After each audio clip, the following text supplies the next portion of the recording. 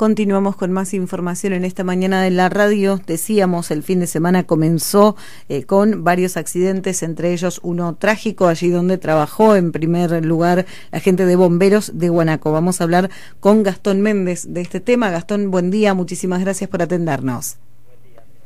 Muy bien.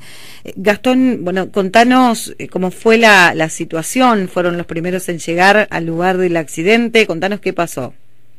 Eh, sí, Andrea, eso fue el viernes eh, pasada a 19 y 30 horas. Eh, fuimos alertados por un accidente, un choque acá en la entrada de Guanaco. Eh, así que bueno, cuando llegamos al lugar encontramos que una Trafic había impactado en la parte de atrás de, del acoplado de un camión.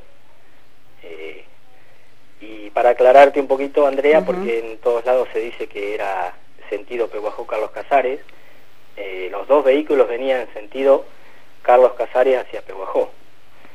eh, así que bueno, eh, terminó el choque, terminó ya acá en la, en la entrada de Guanaco, en la diagonal, como quien dice, entrando al pueblo, ahí pararon los dos vehículos, este, ya después de haber chocado, ¿no es cierto?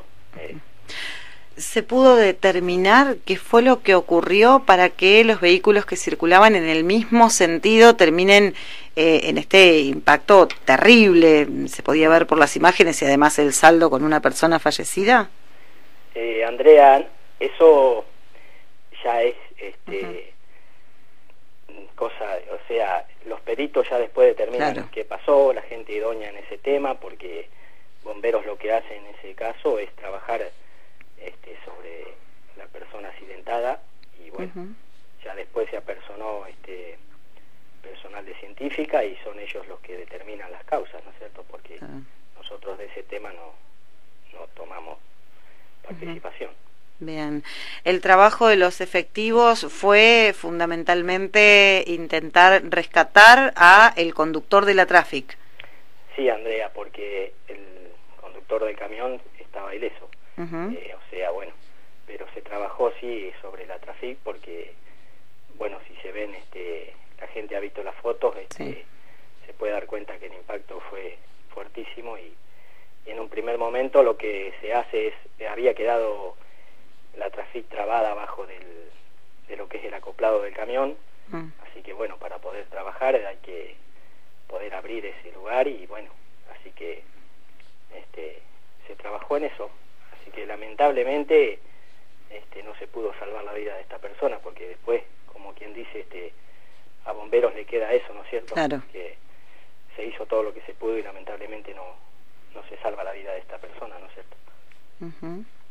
Eh, de todas maneras, bueno, el impacto, decíamos, quienes, quienes vimos las imágenes nos damos cuenta que era muy complicado el trabajo en ese sentido, eh, teniendo en cuenta las condiciones en las que quedó el vehículo. Eh, Gastón, eh, por otra parte, los vehículos involucrados no quedaron sobre la cinta asfáltica, no hubo que hacer una tarea de, de liberar el tránsito.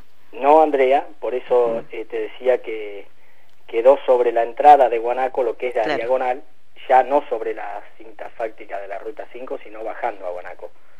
Eh, el impacto, supuestamente, después cuando llegaron los peritos, había sido sobre la ruta misma, ¿no es cierto? Pero Claro. bueno, eh, ya los vehículos paran adentro de, de lo que es el Guanaco, a la bajada de Guanaco, digamos, ¿no es cierto? Y ahí se, se puede trabajar sin, sin obstáculos en la ruta, ¿no es cierto? ¿Cuántos efectivos estuvieron prestando servicio en este lugar? Ocho efectivos, Andrea, ocho a cargo mío. Así Bien. que ya te vuelvo a repetir, lamentablemente, este, después de todo lo que se hizo, eh, bueno, lamentamos mucho la, la pérdida de la vida de esta persona, ¿no es cierto? Totalmente, totalmente. Y bueno, además eh, de, de esa sensación de no haber podido lograr la tarea, eh, son cuestiones a las que tal vez no están tan acostumbrados. En Guanaco es bastante poco habitual, por suerte, este tipo de accidentes.